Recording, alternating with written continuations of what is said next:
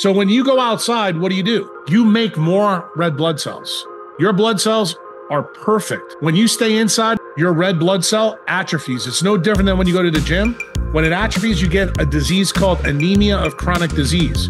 To this day, you open any book in medicine, they have no answer for what caused that disease. I'm going to tell you what it is. It's a lack of UV and IR light. Turns out heme proteins, their action spectra are UV and infrared, sometimes near infrared. Red blood cell is very interesting. It's mostly red.